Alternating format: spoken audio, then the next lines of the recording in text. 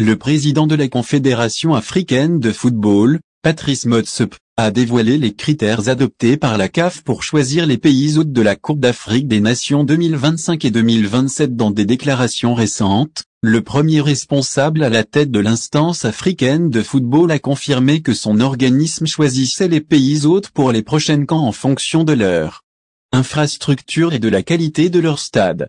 Pour la nomination des pays des camps 2025 et 2027, nous avons choisi en fonction des infrastructures et de la qualité des stades du pays, a déclaré Patrice Motsepe, président de la Confédération africaine de football.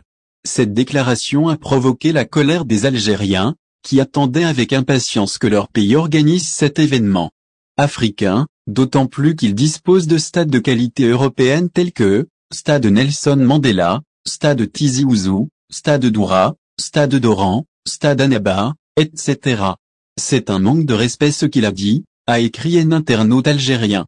J'en ai croisé des menteurs mais là, a commenté un autre sur la plateforme X.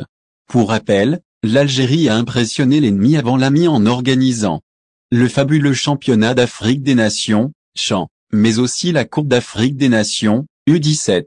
Toutefois, elle n'a pas eu l'honneur d'organiser le plus grand événement d'Afrique, la CAN, et a donc décidé de se retirer avant même d'annoncer les pays hôtes.